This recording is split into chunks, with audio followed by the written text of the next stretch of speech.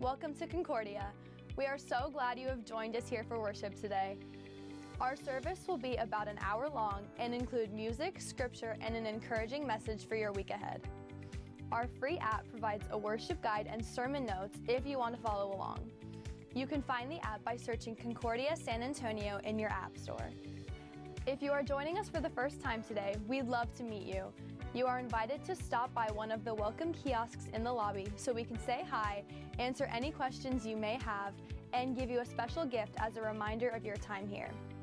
Each week, our Sunday school hour begins at 9:30, including adult Bible class that dives deep into God's Word, Bible studies for junior high and high school students, as well as Sunday school classes for kids ages pre-K 3 through 5th grade. Concordia seeks to share God's love through service in our ongoing Love SA program.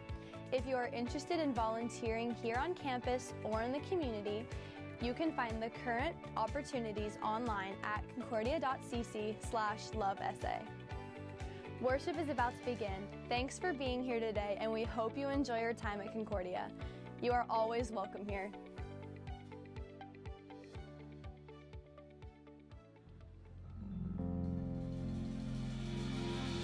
Good morning, Concordia. We all stand and sing this song with us.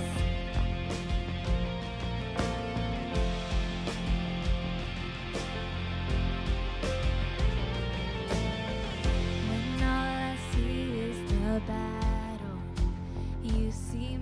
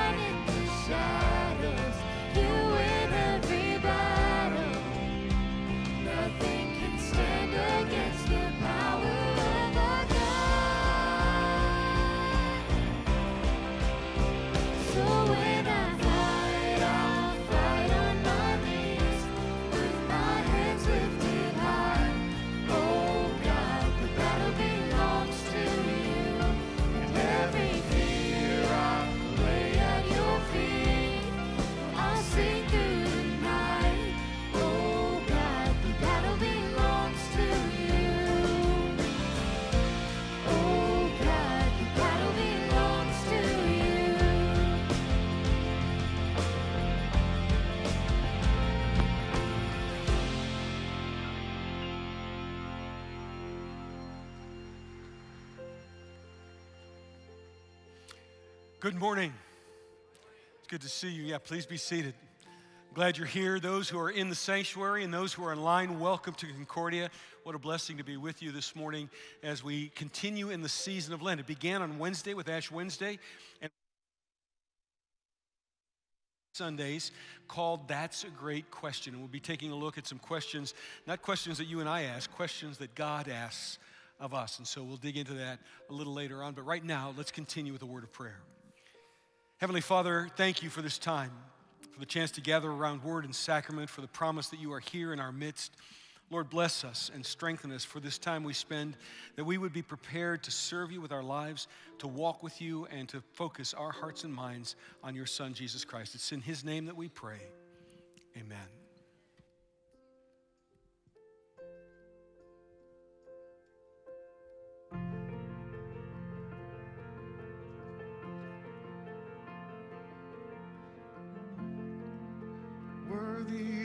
Every song we could ever sing, worthy of all the praise we could ever bring, worthy of every breath we could ever breathe. We live for you, oh, we live for you. Jesus, the name above every other name. Jesus, the only one who could ever save. Worthy of every breath we could ever breathe. We live for you.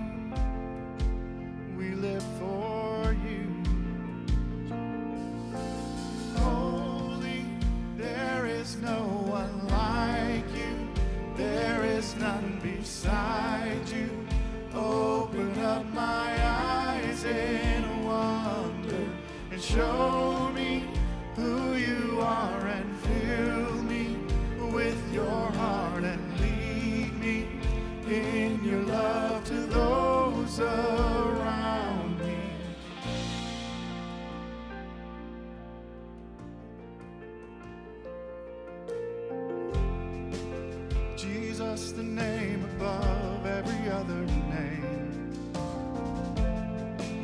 Jesus, the only one who could ever save.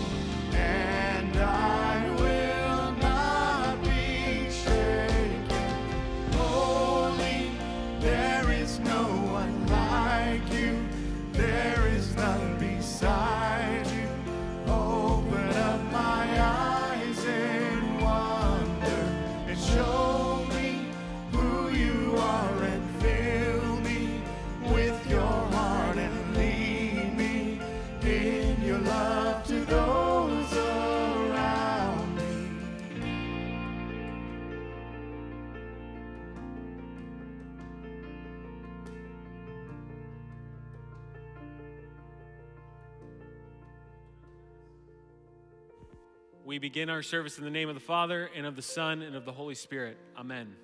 As we enter into the season of Lent, it gives us an, a, a beautiful opportunity to prepare ourselves. And that's what Lent is all about. It's, it's a time of repentance and preparation in which we reorient ourselves as the people of God into the story of Jesus' life, death, and resurrection. And the way we do that is by coming before God in honesty and transparency, to recognize that we are sinful and broken and that we need God's love and grace. And so I invite you in this time of confession to lay it all out before God, to be honest with Him and transparent, and ask for what you need. Let's go before God in prayer.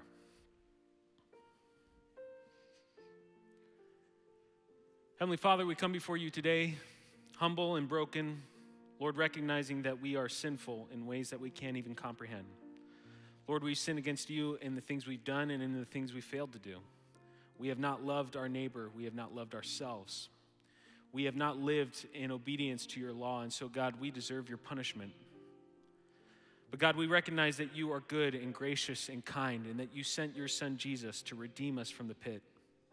And so, Lord, in this time of prayer, we come before you and we lay before you those sins that weigh heavily on our hearts.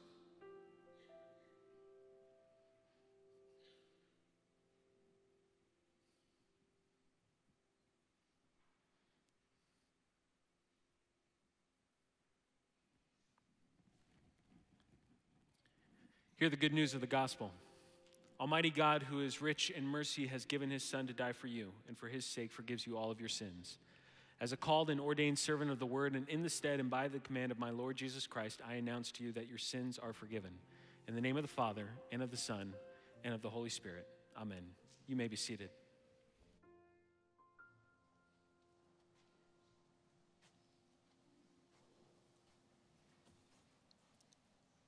Will the congregation please rise for the reading of Scripture?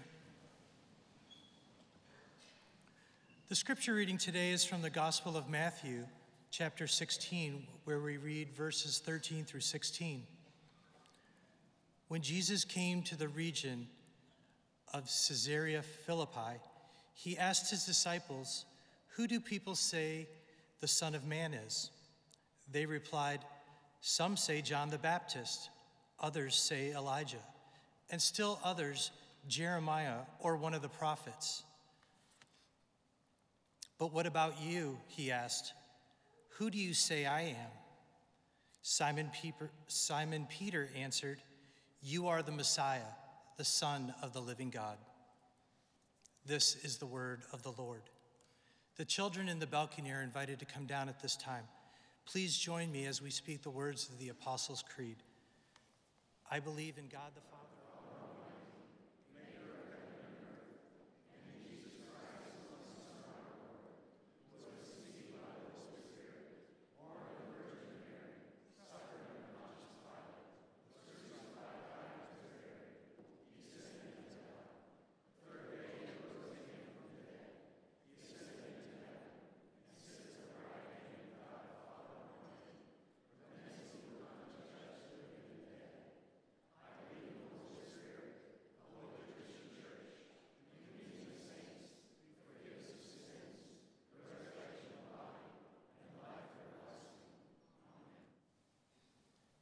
Please be seated as the children come forward for the children's message.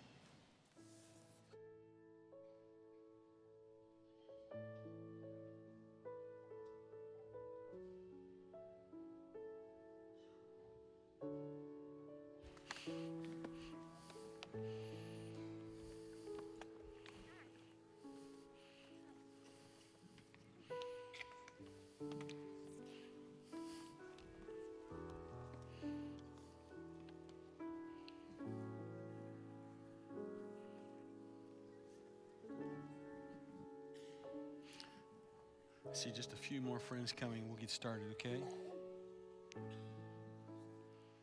Good morning.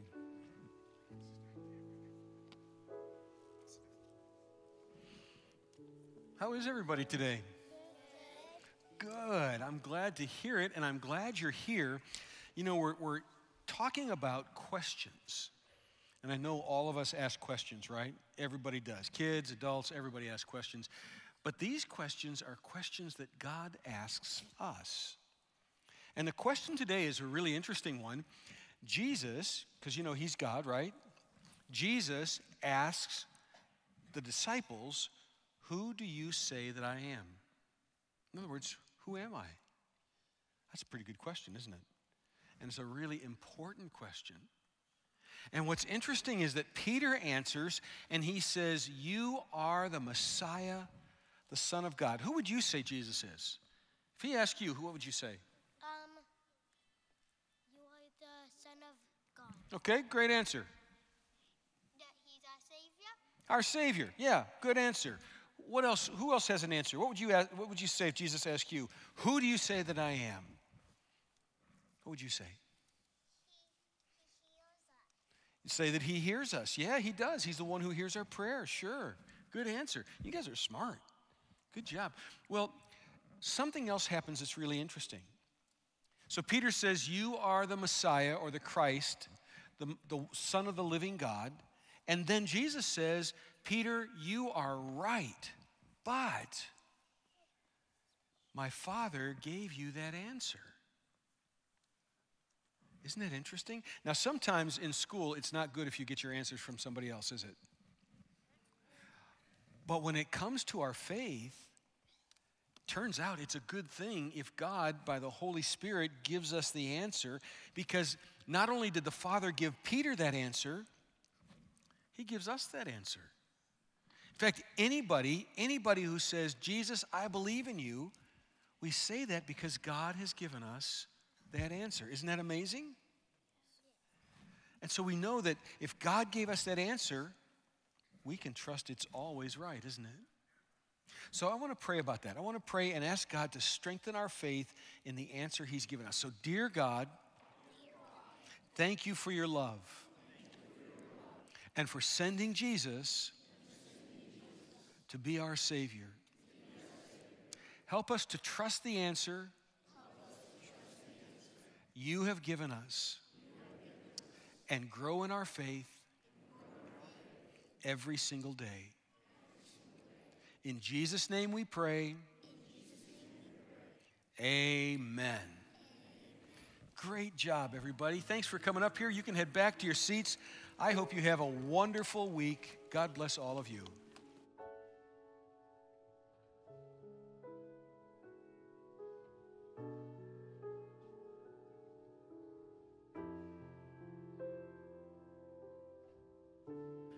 As the kids make their way back to the seats, I'd like to invite the ushers forward at this time to receive the tithe and offering. We want to thank you for all the different ways that you contribute to the ministry of Concordia, whether it's through your tithe or your talents or the time that you dedicate to serving in the different ministries, whether it's Love SA or Sunday morning uh, welcoming or, or fellowship. We, we just thank you for being a part of this vibrant community as we seek to serve the city of San Antonio. And we do that in a lot of different ways. And so we hope that you'll consider joining us in those different volunteer opportunities.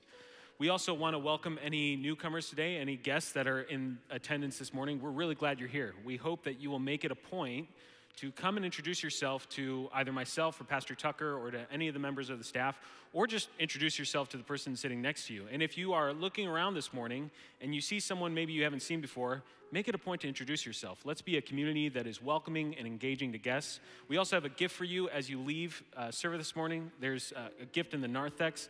We just want you to feel welcome when you come to Concordia and to come back anytime you like. If you're watching online, we're glad you're, you're visiting with us this morning. We encourage you, if you're ever in San Antonio, consider coming to Concordia. We're glad you're here.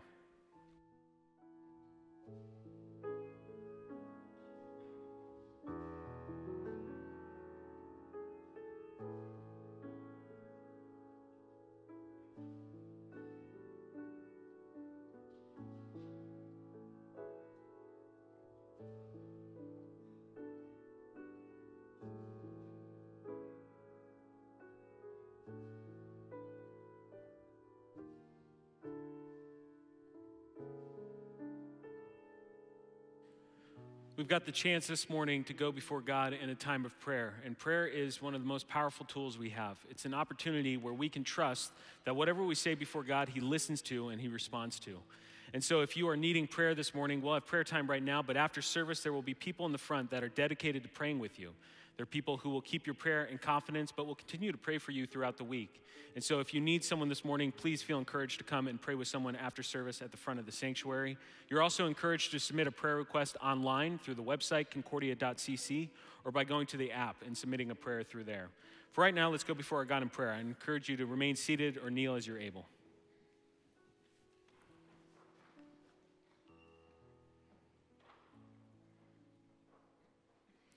Heavenly Father, we come before you today grateful for all that you do. Lord, that you provide for us, that you care for us, that you listen to our prayers. And so, Father, we thank and praise you for who you are. But Lord, we recognize today that as we come into this season of Lent, that, that you are preparing our hearts for this beautiful story that you have told through your Son, Jesus Christ. And so I pray that we would be a people of repentance and forgiveness and love, that we would reflect the good news of the gospel in the community around us. And Lord, that the good news of this story would spread to the ends of the earth. Lord, we especially remember those places in the earth that are torn apart by war and disease and famine. Lord, we remember the, the specific wars happening between the Ukraine and Russia, that you would bring an end to that conflict and that you would preserve innocent lives on both sides. Father, we pray for an end to the war between Hamas and Israel, that you would protect Palestinian lives and Israeli lives. Lord, that you would bring an end to all conflicts, that you would bring peace and healing to our world. And Lord, as our government leaders and the leaders of the world seek to find solutions, that you would guide them in wisdom and discernment, that they would come before you and humble themselves and receive the wisdom that only you can provide. Father, I pray for your church both here and all throughout the world. I pray especially for those who serve as missionaries. Lord, that you would bless and protect them in their work as they bring the gospels to the ends of the earth. Father, I pray for the church here in San Antonio, for Concordia, that we'd be faithful in the ministry that you have put before us. Lord, we pray for our brothers and sisters that are persecuted for their faith all throughout the world, remembering especially our brothers in Pakistan, that you would protect them, that you would sanctify them, that you would lead them, Lord, and that you would strengthen them with your Holy Spirit. Give them peace in this time. Father, we pray for San Antonio. We pray for our community. We pray especially for those who are servants in our community remembering especially doctors and firefighters and nurses and policemen, for EMT, for all those who serve in a unique capacity, Lord, that you would bless and sustain them in their work and protect them. Finally, Father, we come before you and we offer you prayers and silence for those people on our hearts.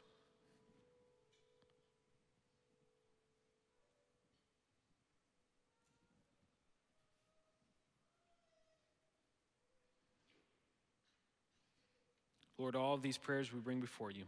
And we pray them in the name of Jesus, who taught us to pray. Our Father, who art in heaven, hallowed be thy name. Thy kingdom come, thy will be done, on earth as it is in heaven. Give us this day our daily bread, and forgive us our trespasses, as we forgive those who trespass against us. And lead us not into temptation, but deliver us from evil. Thine is the kingdom, the power, and the glory forever and ever. Now may this true body and blood of our Lord and Savior Jesus Christ strengthen and preserve you in the one true faith, the life everlasting. Go in peace. Your sins are forgiven. Amen.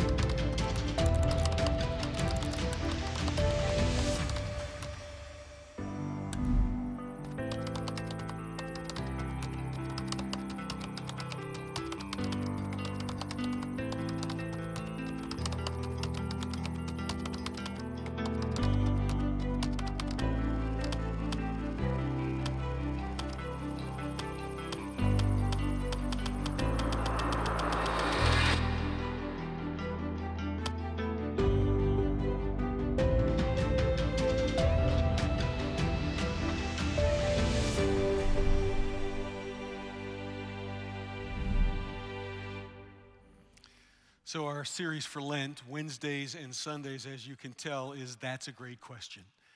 And it coincides by accident from our perspective. Maybe it's divine providence, nothing's a coincidence with God, but it corresponds with something that we are launching. In fact, we launched it this past week. Uh, we are in partnership with an organization called BibleChat.ai. And uh, they have created a, an AI faith assistant to use on our website. And what's interesting about this faith assistant is that it's trained on the Bible, on Lutheran theology, and on the long bunch of sermons and Bible classes and teachings and writings and white papers and all the things from here at Concordia. And so this AI is available on the website, and you can ask it all kinds of questions. In fact, my encouragement to you is to give it a try and, and see what you find. You know, the church has a long history of innovation and using technology for the sake of the gospel. If you think about the printing press, well, Martin Luther made great use of the printing press, newly invented, to print Bibles and leaflets and pamphlets teaching Christian faith and Christian doctrine. And so uh, we fall in that line. Think about all of the innovation in the area of music and the use of uh, different genres of music within Christianity and even the internet. My goodness, our own Concordia, we, uh, we 14 years before the pandemic, we were streaming services so that when lots of congregations were just learning how to do that, we'd been doing it for years because we wanted to make use of that technology to bless our Concordia family and to reach people who are beyond the walls of Concordia. And so, this is another opportunity to use a technology that is emerging for the sake of the gospel and to bless people. And the idea is that, that it provides a way for people to engage with their questions around topics in the Bible and topics of theology and, and uh, gives them a way to, to go just a little bit deeper and to reference resources and materials and videos from here at Concordia. In fact, the, the company that is putting this together shared with me on Wednesday. I didn't know this, didn't, hadn't even considered it, but they shared on Wednesday that we are the first congregation in the world to develop a tool like this and have it available on their website, which I think is, I also think that's pretty cool. And so, My hope is that you are still applauding after you give it a try. But here's the idea Do I think it's going to work perfectly first time out of the gate? No, I really don't. So far, we've had it tested by lots of different people, members of our staff, by pastors that are friends of mine, by theologians in the LCMS, and the, the result has been pretty good. But we continue to find little things that need to be corrected, answers that need to be adjusted, things that we want to, to refer to, to person-to-person conversations instead of an artificial intelligence conversation. But my, my hope is you'll give it a try and you'll let me know. And if you discover something that's problematic, We'll talk about it and figure out it and get it fixed. But uh, I'm excited about this chance to engage in questions. Remember, we've been talking about this for years. The goal of Concordia, so for example, the, the Ask Anything sermons that we do and the website that's created around that, all of that is to demystify the Bible. We've had all kinds of sermon series. In fact, we talk about that that's part of our goal in every message to take the mystery out, to explain things so you can feel confident about reading the Bible and confident about your faith. And so this is just one more step in that same direction. Well, the series that we're in is not about our questions, they're not about human questions. The series that we're in is about God's questions to us. So, as we move forward today, the question that we're going to take a look at is something that God asked through Jesus, who is God and man. He asked of his disciples, Who do you say that I am. Now, here's what's interesting. We know that God is omniscient, right? Omniscient means he knows everything. So if he knows everything, why does he ever have to ask a question? What's the purpose? What's the reason? What kind of questions would they be? Well, that's what we're digging into. And so today we start with actually two questions. The question Jesus begins by asking, What do the people say? Who do the people say I am? And then he focuses on the disciples. And so let's dig in. We are in Matthew chapter 16, verse 13. By the way, if this sounds familiar, remember for context, we were taking a look at Luke chapter 9 last week, and, and this is also a story that's repeated in Luke chapter 9. But here we are, Matthew 16, verse 13. When Jesus came to the region of Caesarea Philippi, now, Caesarea Philippi, just as a reminder, is a, a part of, the, of Israel that is way up in the north. It's 25 miles north of the Sea of Galilee. So it's way up at the northern end of the sea, uh, uh, northern end of Israel. It's in the, the front slope of Mount Hermon. And it's a, a Gentile region. It's not even a, a Jewish area. It's a place that was created to honor uh, uh, Philip, but it was also a place that was created to honor Caesar. So, Caesarea Philippi, it was a place of vacation, a place of beauty, had all kinds of fountains and water features. It had uh, temples for all of the different gods so you could worship whatever God you wanted to in Caesarea Philippi. And Jesus and his disciples are in this region. And Jesus asked his disciples, Who do people say the Son of Man is? Now, when you hear Son of Man, it's kind of a nebulous term, but it's the term that Jesus used to refer to himself. So he's saying, Who do the people say I am? Now, this is a question that's been brewing for a long time. All the way back in Matthew's gospel to Matthew chapter 4, the question has been building up and building up and building up. Interestingly enough, God answers who Jesus is right off the bat. In Jesus' baptism, all the way back in Matthew chapter 3, remember God says, This is my son with whom I am well pleased. The, the demons have already answered this question. In Matthew chapter 8, if you remember, before Jesus casts the demons out of a man, the demons say, What do you want with us, Son of God? So God has answered and the demons have answered, but the people, they're not clear. There is this growing sense of anticipation, this growing sense of significance. There's this growing uh, idea that this, this man is something special. This is some, man is something supernatural, but they can't pu- quite put their fingers on it. And imagine if you were there, if you were living in that time, would you really believe that you are the one who gets to see, gets to hear the Messiah that we've been waiting for for centuries and eons? Now the people are struggling to put their, their minds around all of this. But they know that he teaches like no one ever taught before. They know that he's doing astonishing miracles. And they know that the crowds around him are getting bigger and bigger and bigger. So the, people, the disciples answer. Well, some say John the Baptist. This is, a, this is a thought that was really created by Herod. So remember, Herod is the one who put John the Baptist to death. And then, after he had killed John the Baptist, he heard about Jesus and all the things he was doing, and the miracles and the teachings and the, the judgment that he was proclaiming. And Herod said, This must be John the Baptist come back to life. And so, one of the answers of the people is that he is John the Baptist come back to life. Others say Elijah. And during this time in Israel's history, there was a, a, thought that Elijah would come back. And it was fed by the idea remember, Elijah didn't die. Elijah crossed the Jordan River and then he was taken up in a chariot of fire. And the idea is if he was taken up in a chariot of fire, he can come back in a chariot of fire. And so some say John the Baptist, others say Elijah, some say Jeremiah or one of the prophets. And the reason for that is because so much of Jesus' life and ministry is foretold in the book of Jeremiah. So much of what Jesus did in terms of condemning the, the, the, the the ruling elite and the religious leaders is also from Jeremiah. The judgment of Jerusalem and the prediction of its fall, that's all from Jeremiah. And so some of the people are saying, well, this has got to be the prophet Jeremiah or one of the other prophets.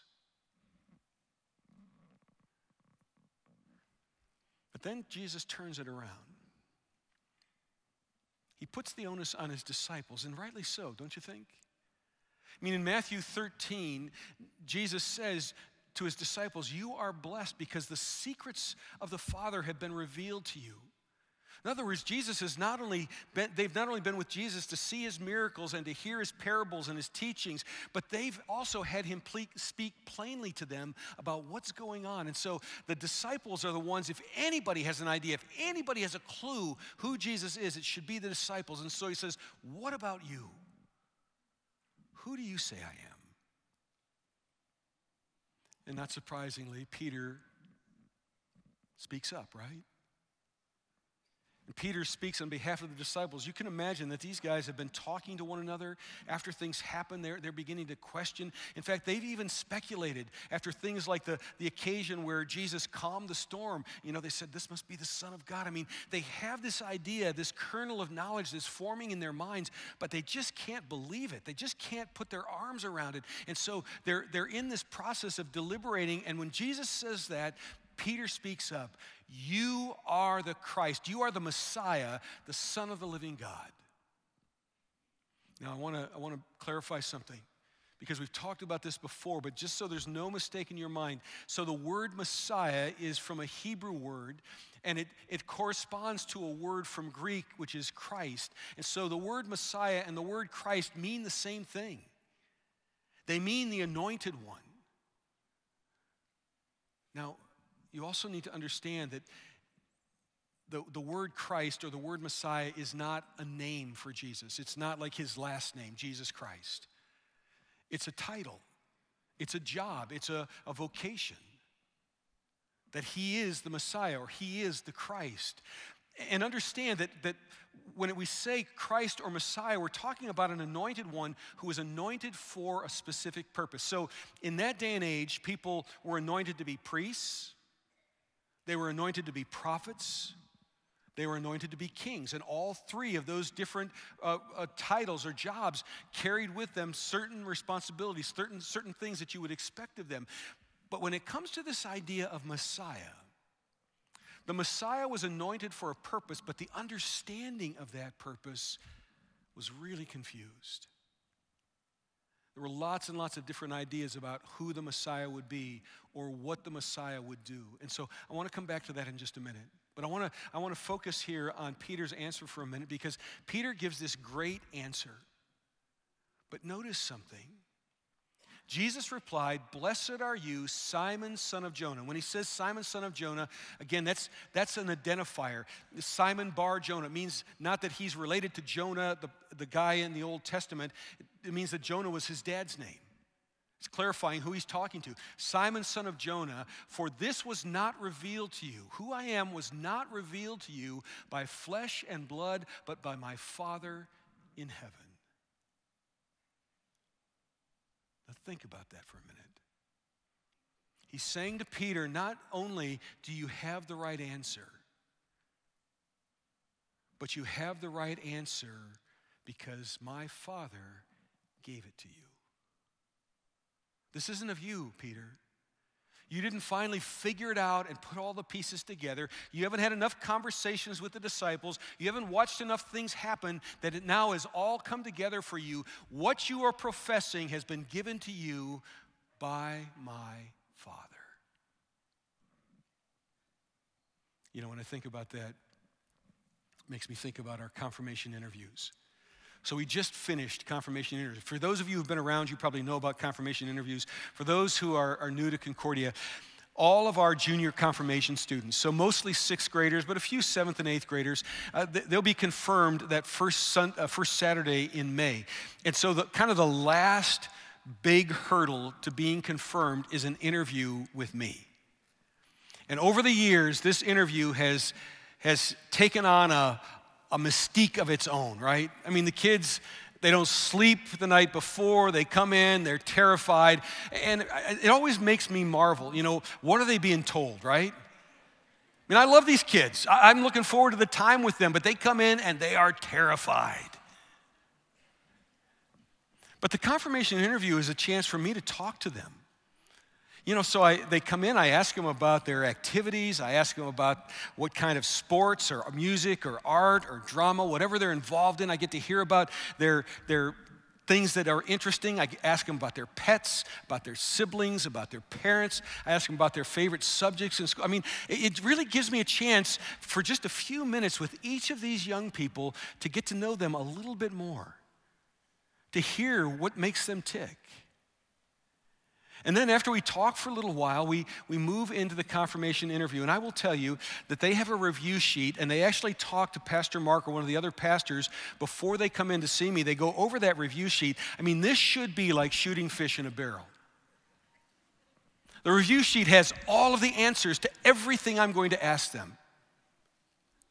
And they go through this sheet and they come in and, and we begin talking, and I ask them such easy questions. Because the goal is to, is to sort of get them moving, right? To get them going, to, to make them sort of get in the flow of things. And then we, we come around and I say something like, well, you know, if you take a look at confirmation from the big picture, you're moving from being a child in the faith to a young adult in the faith. But the thing that you're going to experience probably most directly is that you, you start taking communion. And in the Bible, it tells us two things about communion. One, that you have to be prepared every single time. And, and they go through some questions that they need to ask themselves. And then, after we finish with that, I say to them, you know, when you go up for communion, I know that there's bread and there's wine. But what about the body and blood of Jesus? Is it really there? Now, again, this is all in their sheet. So they, they say, oh, yeah, it's there. I say, great. What makes you say that? Or, or who, who told us that it's there? And again, eh, they, they're usually kind of right on top of this. They'll say, Well, Jesus told us. Jesus said so.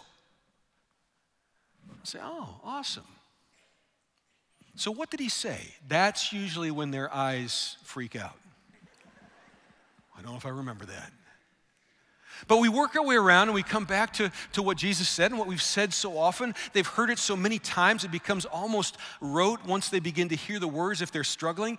Jesus said of the body, Take and eat, this is my body. Take and drink of the wine, this is my blood. And I say to them, Ah, awesome. So when you say that, it sounds like he's saying that his body and blood is really there. And they go, I said, Well, you know, do you think it could be a mistake? I mean, I make mistakes, you make mistakes. Maybe Jesus made a mistake. No way. Say, so, well, could we cut Jesus a little slack? I mean, maybe he just made a mistake. Why wouldn't Jesus make a mistake? And they, they work their way around, and ultimately they get to the point where they tell me that he is the Son of God. I say, ah, yeah, you're right. So here's the big question Are you willing to risk all of the work that you've put in, all of the time? Are you willing to risk having to go through confirmation all over again to stick with that answer? And usually that's when their eyes become gigantic. Usually they say, Could you repeat the question? say, Sure. The question is when you go up for communion, the body and the bread and wine is there. What about the body and blood of Jesus? Is it there also?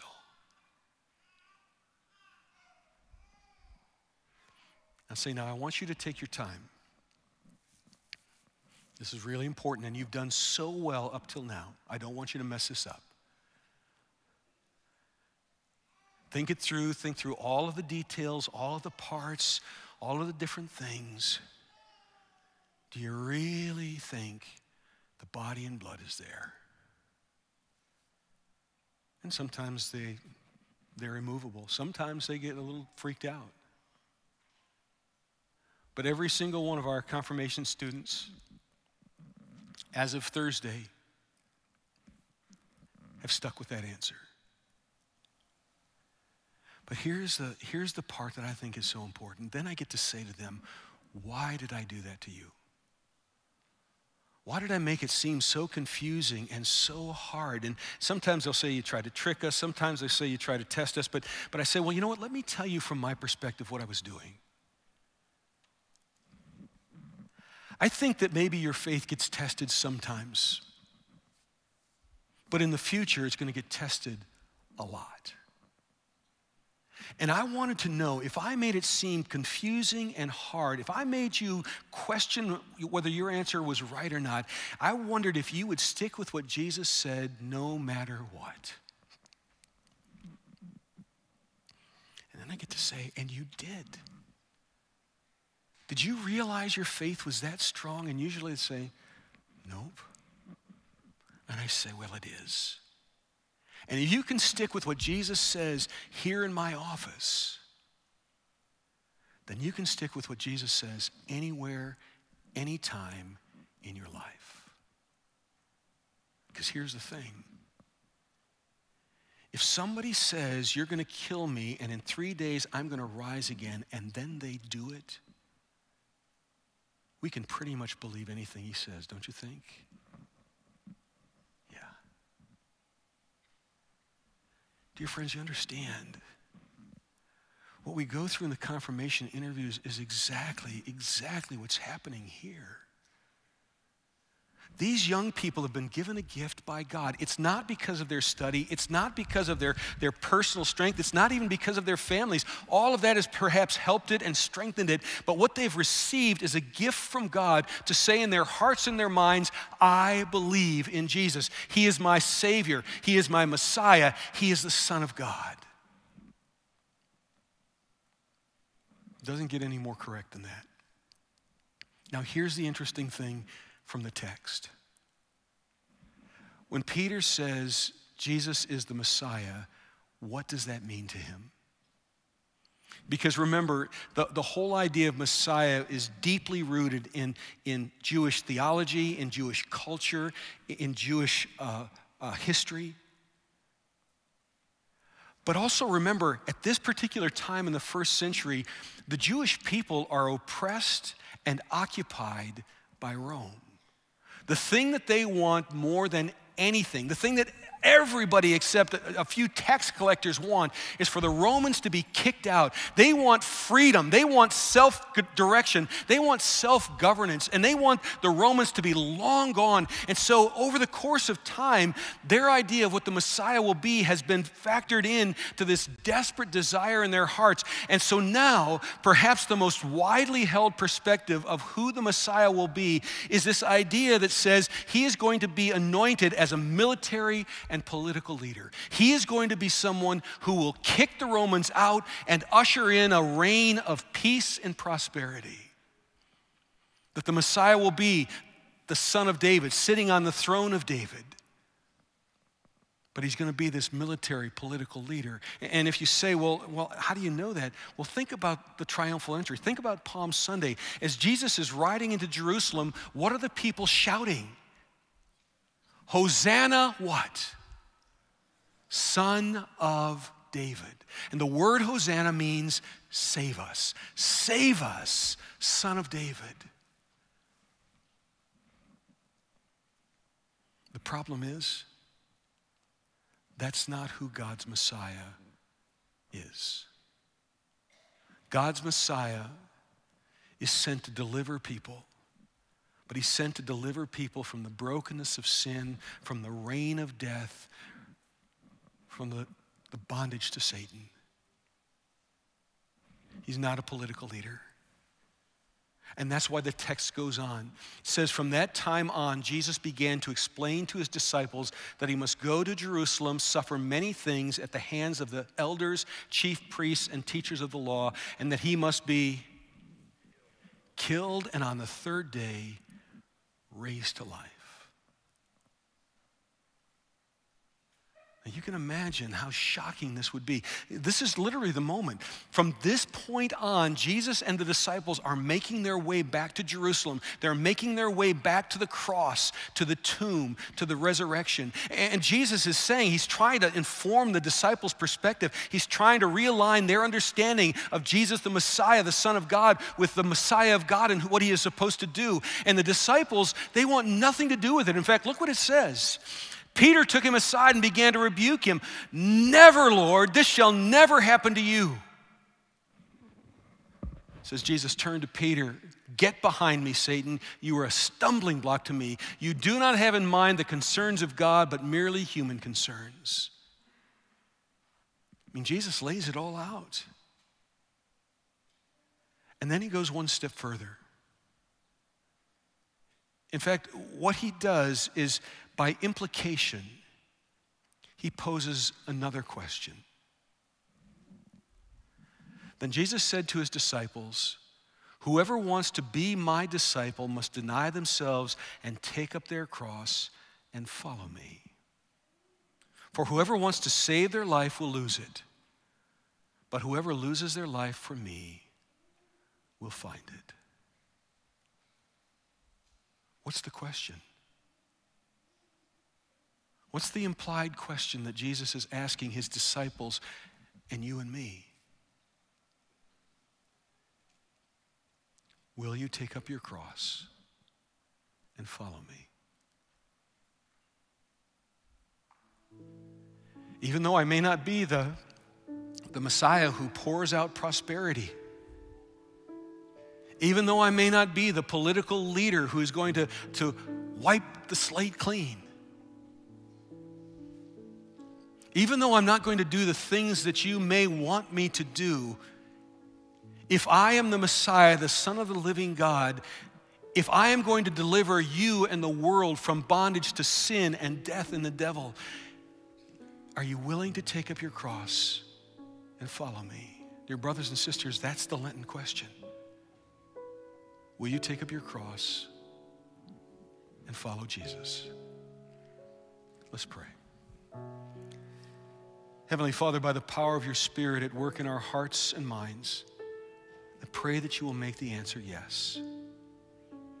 And Lord, not just in our hearts and minds, allow that answer to be yes each and every day as we follow you, as we live for you, as we share the hope that we find in you. Pray this in Jesus' name. Amen. Now, dear friends, the Lord bless you and keep you. The Lord make his face shine on you and be gracious to you. May he look upon you with his favor and give you his peace. And as you leave this place, go into the world and shine like stars in the universe as you hold out the message of life.